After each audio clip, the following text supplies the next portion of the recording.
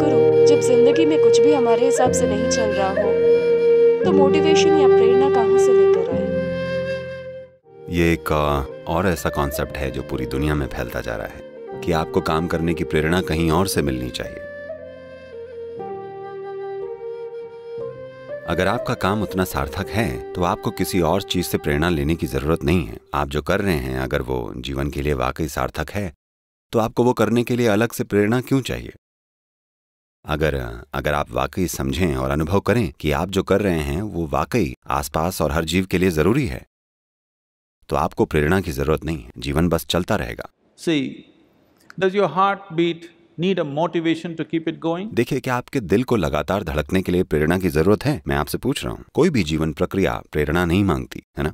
Monsoon आ रहा है। प्रेरणा से नहीं ये हर साल आता है क्योंकि प्राकृतिक प्रक्रिया चल रही है। यूँ ही आप में और मुझमें जीवन धड़क रहा है।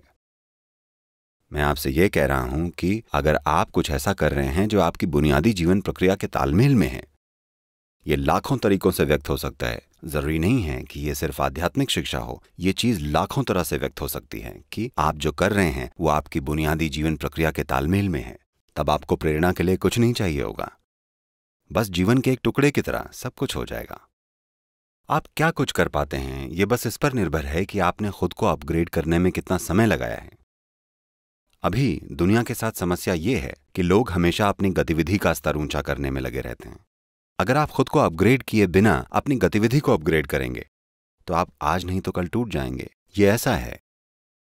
जैसे आप फॉर्मूला वन ट्रैक पर चले गए क्योंकि आप फास्ट ट्रैक होना चाहते थे और आप अपनी मारुति 800 ले गए। मान लीजिए अगर आप सही स्पीड पर पहुँच भी गए तो चारों पहिए चार अलग अलग दिशाओं में चले जाएँगे। कार टेक नहीं पाएगी। अगर आप वैसी स्पीड और वैसे ट्रैक पर रहना चाहते हैं तो आपको मशीन को तैयार करना होगा। आपको अपग्रेड करना ज़रूरी है। अगर आप खुद को अपग्रेड करते हैं तो गतिविधि होती रहेगी।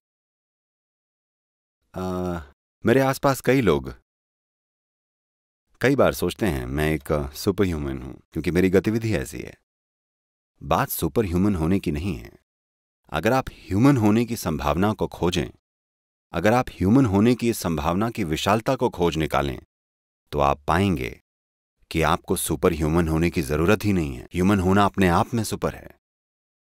इसलिए आपको किसी बाहरी प्रभाव या प्रेरणा की ज़रूरत नहीं पड़ेगी। जीवन की प्रक्रिया अपने आप ये कर देगी।